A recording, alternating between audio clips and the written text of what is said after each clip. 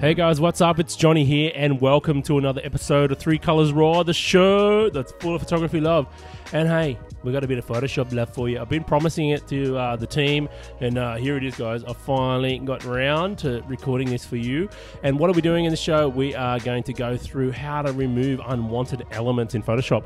And here's the lovely image. If you had seen last week's uh, video, you know I would have talked about this. Um, this is from the New South Wales North Coast. It's uh, from Coffs Harbour, and it's so damn cool. Sunrise. You've got the orange. This is like my perfect sunrise colors. You've got the oranges. You've got the blues. You've got the magentas. It's like, ah, it's awesome.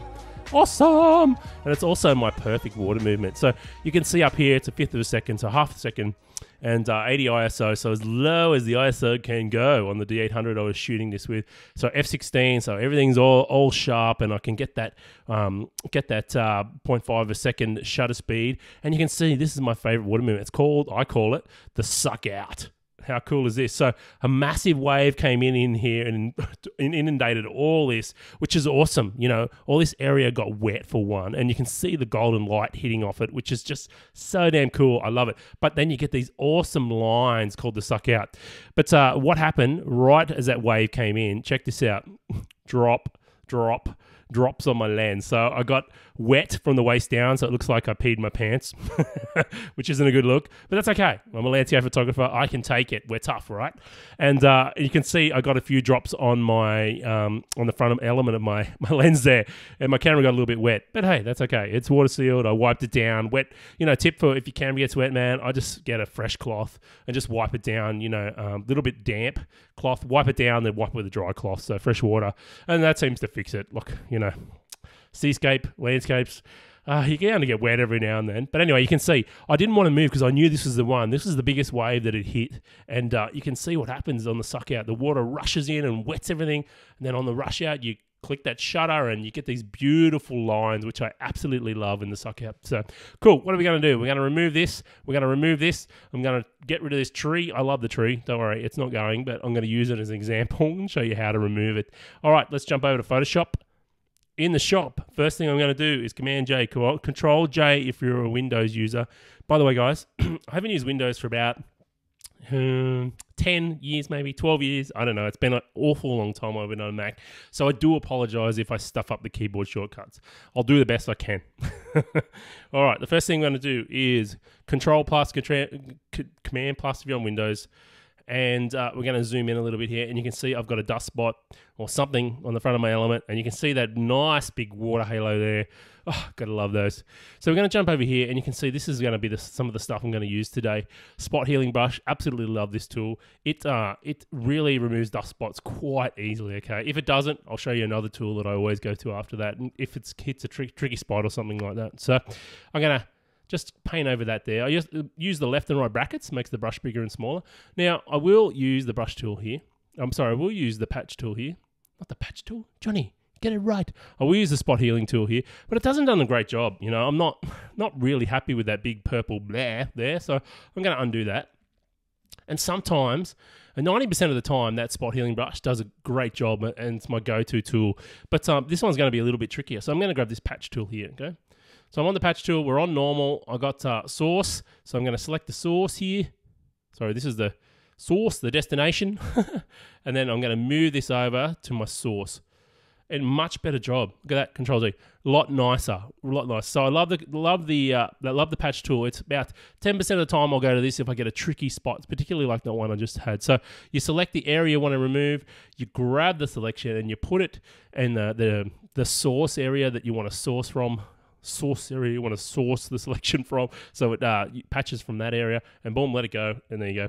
And control D, that deselects. So boom, there we go. And uh, what I would do now is I'm going to go back to that spot healing brush. And I'm just going to grab the hand tool. I'm just going to have a quick look around here. You can see, you know, I can go, in, go in a little bit tighter here. I'm in at about 50% there. And that's usually enough, 50, 100%, and just buzz around. There might be a slight little one over here. I think I need to get my center clean, so there might be a couple. But anyway, you get the idea. I'm going to buzz around that sky, have a quick look. All right, last thing, oh, there's one there. So last thing you want to do is uh, get this image ready for the web or ready, oh my God, if you get it printed and there's a dust spot, epic fail. So make sure you zoom in, use that space bar, turn to the hand tool, pull, um, move, the, move the image around, make sure you cover that, that uh, whole that sky area and or the whole of the image actually, have a good look around. You can see there's another watermark there. Ooh, terrible, terrible. All right, but something I want to show you here is content aware fill. Okay, um, now content aware fill works really, really great. If you had a branch sticking into the scene or a little stick that you wanted to get rid of, and there's another little dust spot there, um, it works really, really great. And I'll show you why I wouldn't just use content aware fill without doing a bit of um, without doing a bit of clone stamping. That's what I was thinking. Clone stamping. Okay. So if I was to make a selection here, we go boop, boop. Okay, I'm just going to make a rough selection uh, with the marquee tool there. You can see I grabbed that. Made I'm going to fill, and I want to make sure I'm on content aware. I'm going to hit OK. Boom. And you can see, hasn't done a very good job. It's quite terrible. It's blotchy. Um, we've still got this area here that's terrible. so I'm going to undo that. Control Z. And then what I want to do is grab the clone stamp tool. I'm going to start, I always start with my clone stamp tool, you know, around 50 50, something like that. I'm one of these people, I don't like to clone stamp the hell out of something. I'm a bit of a slow builder. I'm on my Wacom tablet, so I'm going to zoom right in here. Now, option, option key, or uh, I think it might be control key on Windows, it selects your source, okay? So I'm going to select the source, I'm going to go over here and just paint. And I'm just a bit of a slow builder. See, I've got my got my Wacom tablet. And when I get in a little bit tighter here, because I've got a really soft brush, guys, when I get a little bit tighter, I'm going to make the brush a lot smaller as I get in tight here. You'll see why in a minute. If I don't, it really softens up that edge too much. So I'm just taking my time, taking my time, building that break in there. Because then when we do the content aware fill, it's going to be a lot cleaner, a hell of a lot cleaner. It's going to undo that there. And you'll see often I'll, I'll hit the option key, click away, get my source again, move my point, and then and then keep painting. So you get the idea. Dip, dip, dip, dip, dip, dip, dip. All right, we can go a bit bigger. I'll turn it up a bit just for this. So we can move things along a little quicker. The last thing you want to see me is clone stamp for half an hour. But anyway, you get the idea. So what I'm doing is I'm just making a break from this element I want to remove and the top of this uh, this headland here. That's what I was thinking. All right, so that's looking pretty good. So if we zoom out, you can see I've made a nice little break there and that should make things a lot easier. We're still going to get that blotch, unfortunately, but we'll fix that up too.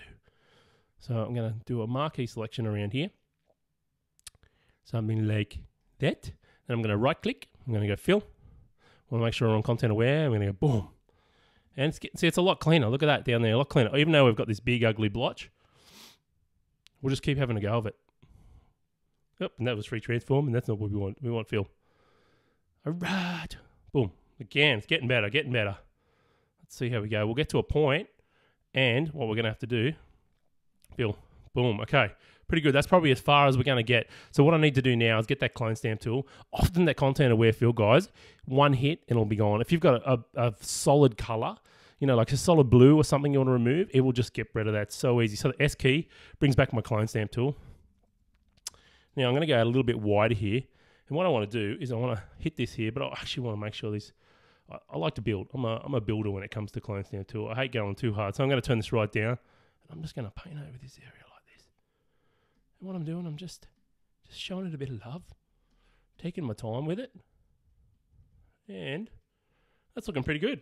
I think that's okay. It's not too bad probably go a little bit more there, but I won't spend the time. You can see I've just um, uh, put a soft clone stamp over that there, and it's fixed up that blotchy area that's left from the content aware fill. And you can see before, after. Actually, guys, I will leave that tree in. I'm not going to take it out, by the way. I just wanted to show you a technique for removing things where you had to break it away from the main area and then do that marquee selection with the content aware fill and then tidy it up a bit with the clone stamp. So that's it. That's a couple of things I like to do. There's a little area down here, which I'm going to have a part two video, and uh, that'll be coming out very soon. So look out for that. And this has been Johnny for Three Colors Raw, the show that's full of photography love. Head over to threecolors.co and pick up my free Lightroom presets there. You're going to love them. Get over there, get them. Gives you a great starting place for lots of different, lots of different looks there with black and white, and just a general starting place for your images, which is a, which is so handy. It's so nice just to click that and go, hmm, yeah, that looks pretty good, and then just make your changes from there. Love it. Love my Lightroom presets. All right, guys, this has been Johnny for Three Colors. Watch out for the next video. It's coming your very, very soon, and don't forget to head over to Three Colors, threecolors.co, the site that's full of photography love for all your landscape and nature photography tips, tricks, business, man, field work. It's all over there. Go and check it out, and of course, leave me some comments under this video. I'd love to hear from you. This has been Johnny for Three Colors. I'm out. Peace.